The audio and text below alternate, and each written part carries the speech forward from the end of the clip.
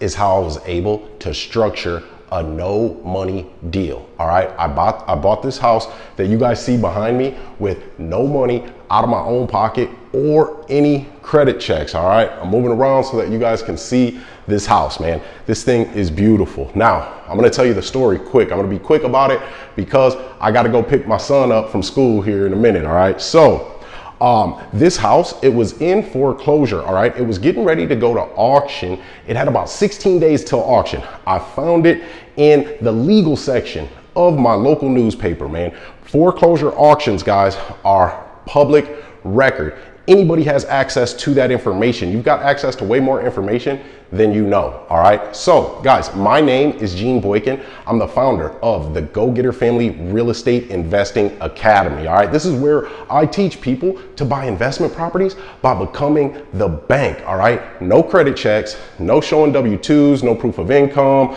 debt to income ratios, realtors, inspectors any of that stuff, all right? That's how I bought this house that you see behind me, all right? Now, it didn't always look like this, all right? This is what it looked like before.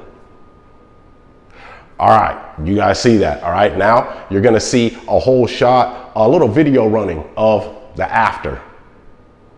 Huh? Yeah, that's how we're getting down. And guys, I didn't pay for any of that work. So check it out. All right. So they hadn't paid the mortgage on this place in uh, three years. Okay. Three whole years. They were behind about 40 some odd thousand dollars. So the house was getting ready to go to sheriff's auction and they felt like um, there was nothing else that anybody could do. Okay. So one of the family members tried to get something called a short sale on this property.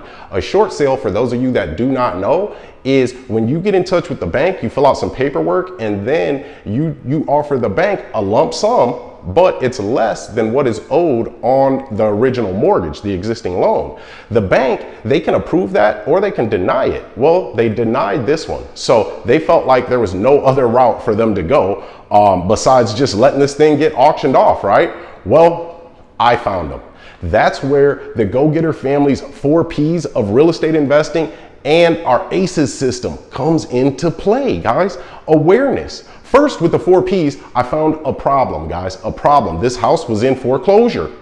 So they got a problem for me to solve. That makes me more valuable to them with the knowledge that I have. I was able to stop that foreclosure auction. All right. So um, I'm not going to get into all the backstory of it, uh, just some of the numbers here. All right. So they were about, they again, they were three years behind. So um, they were about $43,000 behind in back payments, all right? The existing mortgage is about 123,000. This property, it's in one of the best neighborhoods in my city, hands down, all right? So I had to get some squatters out of here, all right? Now, they were family members of the previous owner, but he didn't want them in here. He was getting ready to go to foreclosure. So what I did was I got the proper documents signed, all right? I got power of attorney of him, um, transferred the property into a trust real quick, and then my company is also buying this thing on contract, all right? So I had complete and utter control. That's when um, I got with the servicing company. I contacted the servicing company and I used uh, um, some foreclosure mitigation, loss mitigation that that was established by the government and then pushed hard by Obama. Um, it was established in the 80s, all right, for people to not get foreclosed on. So I got a forbearance on this property, stopping the auction, all right, stop the auction completely, but I offered the seller $5,000. All right. I'm taking over the existing mortgage of 123,000 and then I offered the seller $5,000. Now, this is the key. This is where the no money comes in. You can structure deals like this, guys. You can structure a deal any way that your mind can imagine. All right. You just have to do the proper type of transaction and then you have to have the right paperwork. All right. But what I did was um, I structured this so that I didn't have to pay the 5000 until the house was fixed up and sold. Fixed up and sold. So that means I didn't use any money out of my own pocket. I sold it and I used the proceeds from the sale to, to pay the 5000 all right? Now, um, there's a little bit of a backdrop story behind all of this, this property, but just so you guys know, when you become the bank, your ability to solve a problem, that's what determines if you can be a real estate investor and be a successful real estate investor. It's no longer up to you having good credit or needing a lump sum of money, guys, out of your own pocket to be able to do this. As long as you have that knowledge and you can solve a problem. See, this is the thing.